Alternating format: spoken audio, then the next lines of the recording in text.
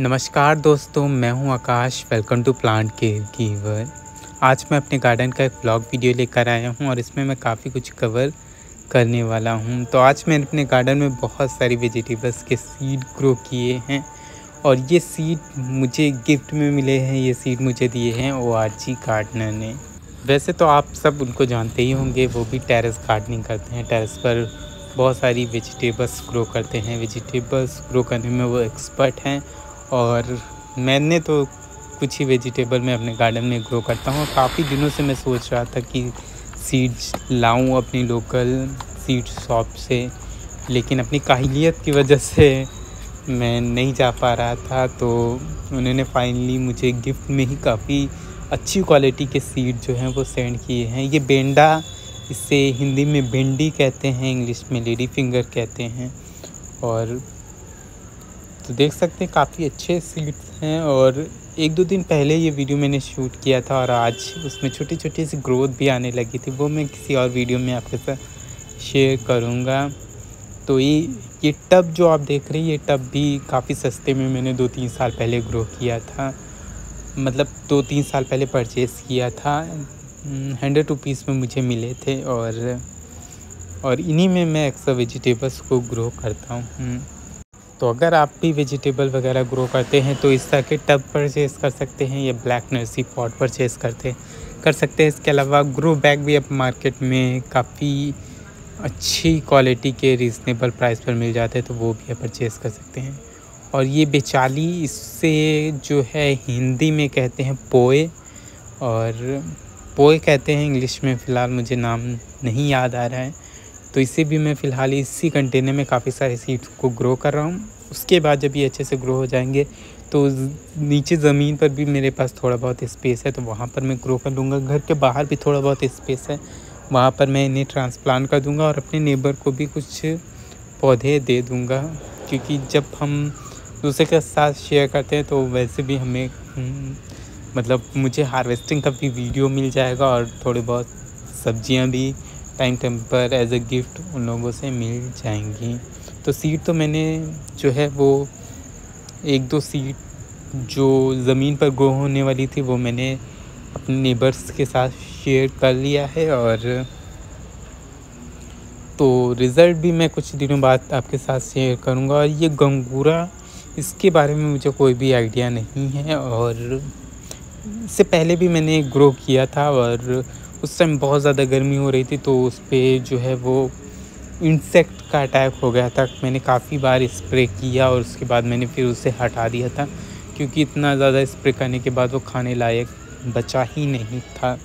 तो फ़िलहाल इस टाइम मैं ग्रो कर रहा हूँ और इसका सही टाइम क्या होता है वो भी आप मुझे कमेंट करके बता सकते हैं। मुझे इसका फ़िलहाल कोई आइडिया नहीं है और ये पालक आप इस टाइम ग्रो कर सकते हैं। और इस पर मैंने आज ही चेक किया था, शाम को पानी डाल रहा था तो चेक किया था तो इसमें नई नई ग्रोथ भी आने लगी हैं।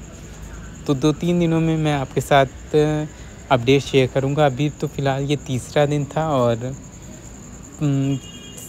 पाँच से सात दिनों में मैं आपका इस, आपको इसका रिज़ल्ट शेयर करूँगा। ये पत्ते वाली जो सब्ज़ियाँ होती हैं, वो आसानी से कुछ ही दिनों में ग्रो हो जाती है और ये थोटा है इसे हिंदी में जो है वो चौराई कहते हैं और इसे मैं इस तरह से स्प्रिंकल कर दे रहा हूँ।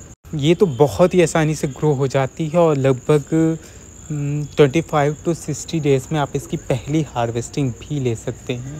तो सभी सीड को ग्रो करने के बाद मैं अच्छे से वाटरिंग कर दे रहा हूँ और तो ये वेजिटेबल आप आप भी लाकर जो है ग्रो कर सकते हैं।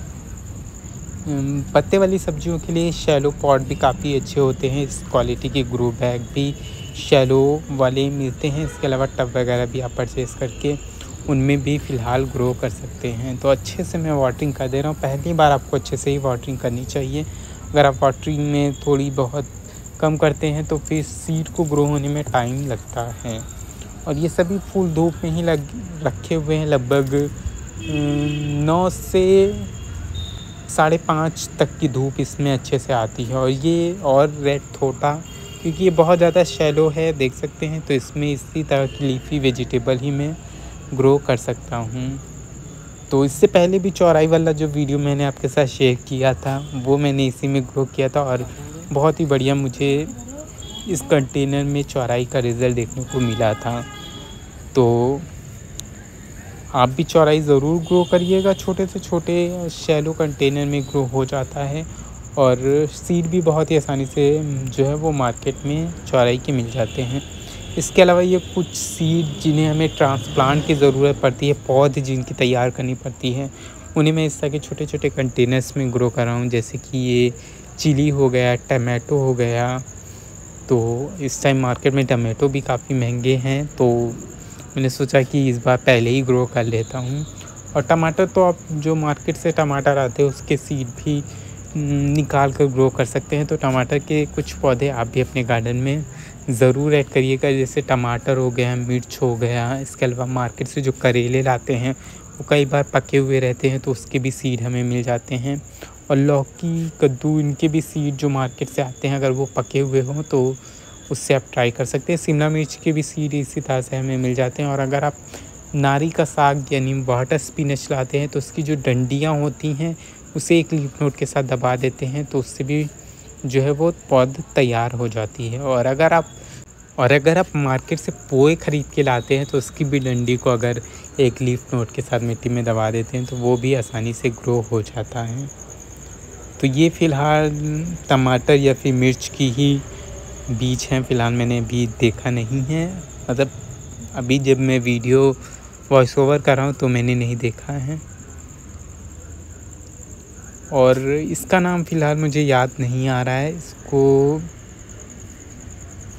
आप देख लीजिए सीड करेले की तरह कुछ लग रहे हैं और मार्केट में ये मिलता है, पर हमारे यहाँ इसकी कभी सब्ज़ी बनी नहीं है तो इसका नाम फ़िलहाल हिंदी में इसे क्या कहते हैं, मुझे याद नहीं आ रहा है। और जो जितने भी सीड मैंने लगा दी सभी में मैं अच्छे से वाटरिंग कर रहा हूँ और यहाँ पर, जहाँ पर मैंने इन कंटेनर को रखा है, यहाँ पर भी चार से पाँच घंटे की धूप आती है और अच्छे और इतने टाइम तो वैसे भी बारिश का सीज़न है। बारिश तो यहाँ लखनऊ में नहीं हो रही है, लेकिन मौसम फिर भी ठीक ठाक रहता उतनी ज़्यादा धूप नहीं होती है। तो अब ये एक और कंटेनर बचा हुआ है, इसमें भी मैं कोई सीड ग्रो कर लेता हूँ।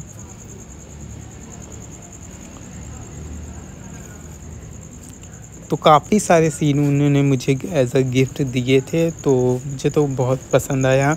और ये जो आप देख रहे हैं, ये सेम के हैं सेम की भी उन्होंने दो तरीके के बीज जो है वो दिए थे। और कुछ सीड मैंने अपने नेबर को दिया था तो उन्होंने ज़मीन पर ग्रो कर लिया था। और मैं फ़िलहाल इस कंटेनर में ग्रो कर रहा हूँ। अगर ये ग्रो हो जाता है तो मैं तो इसे ज़मीन पर ही देने वाला हूँ। ज़मीन है तो उसका भी फ़ायदा उठाना ही चाहिए।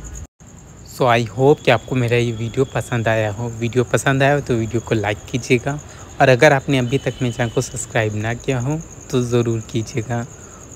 तो चलिए मिलते हैं अगले वीडियो में। तब तक के लिए हैप्पी गार्डनिंग